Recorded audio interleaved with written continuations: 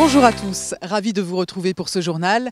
L'actualité de votre CHU cette semaine avec de l'hypnose conversationnelle pour les patients dialysés, un événement sportif inédit pour les personnels.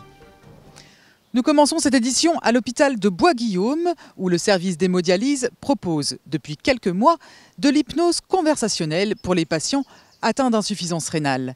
L'objectif, leur apporter plus de bien-être lors de la dialyse. Ici, l'aide-soignante utilise l'hypnose conversationnelle pendant que sa collègue infirmière réalise le branchement de la ponction. Cela permet d'amener la patiente dans un état de conscience modifié, en d'autres termes, de détourner son attention du soin vers un moment qui lui est agréable.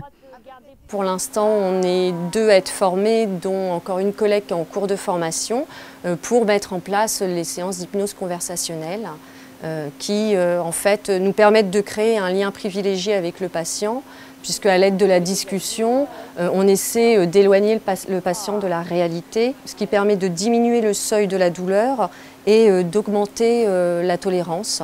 En fait, on crée une espèce de dissociation, donc par plusieurs, plusieurs techniques.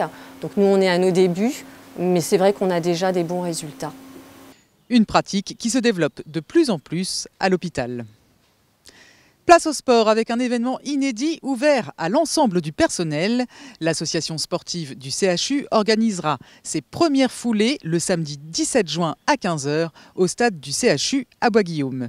Deux catégories sont proposées, marche sportive et course.